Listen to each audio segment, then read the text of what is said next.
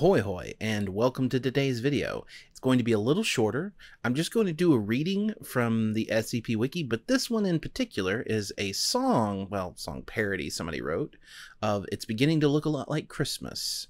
Um, let's see here. This was written by Calibri Bold uh, on the, or I, I, should say the parody was written by Calibri Bold. The original, It's Beginning to Look a Lot Like Christmas, I believe. Let's just, let's Wikipedia this uh, was written in 1951 by Meredith Willson. That's important to remember because it is still under copyrights. You will unfortunately have to deal with an a cappella version um, where I read off the uh, SCP Wiki here. But let's give it a try and see how well we can do. It's beginning to look a lot like Eldritch. Everywhere they grow. There's tentacles in your head, squirming there once again, where torture, pain, and going insane won't go.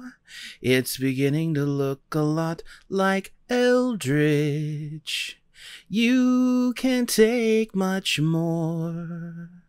But the evilest sight to see is an undead corpse from me at your own front door. Flesh crafting books from their ancestral roots, it's the wish in the sarkic's head. Striders that walk and will turn you to rock, they'll bring you to Corbenic dead. And nine-tailed fox can hardly wait to contain them all again. It's beginning to look a lot like Eldritch. Everywhere you go.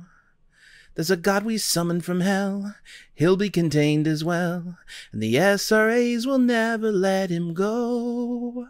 It's beginning to look a lot like Eldritch.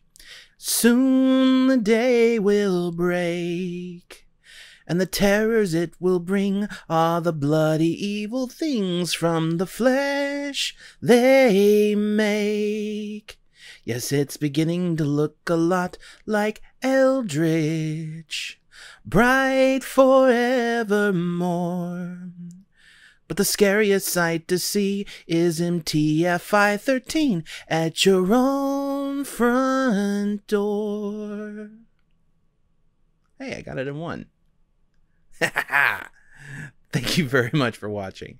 If you enjoyed the video, which I have no idea why you would have, but if you enjoyed the video, uh, scroll down and hit the subscribe button and then hit the notification bell when you're done with that so that you will be updated and notified when I upload new videos. and if you'd really like to support the channel, head on over to patreon.com forward slash D Cimmerian and pledge at any level like everybody here on the screen already has. It's one of the easiest ways to ensure that I can continue to make content for this uh, channel.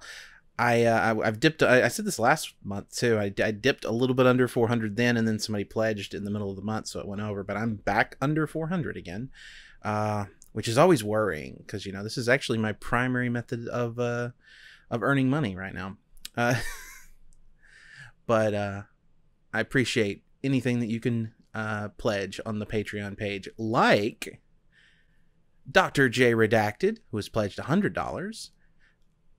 Sinjariki, who has also pledged $100, and Morgan, who has pledged $40. Frankly, it's nice to know that I'm not alone out there, and I will see you all again on Tuesday.